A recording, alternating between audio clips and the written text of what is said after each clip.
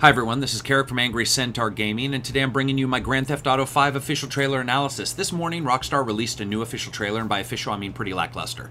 But I'll get to that. For a long time, it's been questioned what exactly GTA would look like versus the bull shots and touched up trailers, and today I think we got the closest comparison that we'll ever get. So let's begin. Now, the first thing that's noticeable here is a somewhat low texture look, which is fine as this is on current consoles, and I'm happy to see a closer to accurate reflection of what's happening because we don't want the game to fucking crush the life out of the current gen systems. Here you can see a mix of low and high detail textures on the left and right respectively, with the high level texture locations having a good depth to them and accurately reflecting light. Here we move on to water, which has always been a sore spot with me, even in GTA 4 or Melon Water, as it was jokingly called. Here they don't appear to have really stepped it up. Just Cause 2, this isn't, more like Just Cause 0.5. Also, from the look of the cutscene here, they are most likely using some kind of FXAA or another variant of anti-aliasing that gives it that soft look. It's not bad at all, though. Ah, heists. My sheer desire is that this game is going to be like Payday 2 had been thrown into the game. The AI is given a Mensa upgrade, and the shooting mechanics are at least somewhat translated over. Another thing I've noticed in both cutscenes and gameplay is a far higher detail of accuracy in the shadows, both in representation and in location, where GTA and many other games in the past look like someone just said, hey look, this is a good place for a fucking shadow, I bet, and then said, make it so. And here we see a post filter with some anti-aliasing and some disappointing ground textures that apparently came from the Sega Dreamcast era. Gotta expect that though. Notice the cloth physics in the man's necklace as they run. Also, I noticed that unlike past games, even in their cutscenes, the power lines and such don't disappear and the writing on the billboard is still clear enough to see. Rockstar are kings of animation, taking other development studios out to the back shed and beating them down with excellence, a subtle hand, and talent that most likely gives random passerbys erections. Just amazing torture me over mistakes I made over a decade ago. You back in the game?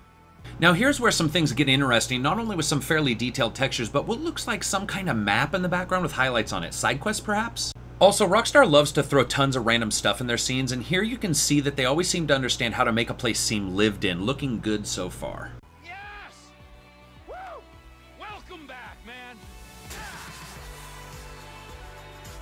Professionals. We all know the score. I am loving this shot. Past open world games are like fucking clone machines with the same 15 characters dressing and undressing faster than a casting couch session at Nickelodeon, but here we have a good subset of characters with proper attire for the entire location. Though there is some strange LOD issues with the signs in the backgrounds compared to other shots in previous trailers. Tax returns and all. We're gonna move quick This part of the trailer is brought to you by Frigidaire Appliances, because their washing machines are built Ford tough. Speaking of Ford, I wonder if Harrison Ford is in that fridge up there. Or maybe it's a dishwasher or a clothes washer. Regardless, I love the random bits exploding. And the fire and smoke effects are really well done.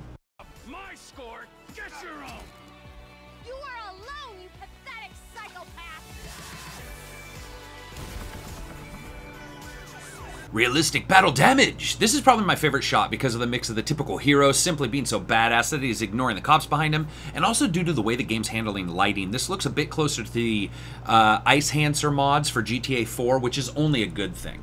Well, that's about it. It's a short trailer and we have just a bit of time before the game comes out. It's looking more and more realistic to what these current gen systems will be capable of, and that's only a good thing. The game's so stock full of stuff to do, apparently that programming it is probably comes with a psychology license and group therapy. There's just so much stuff.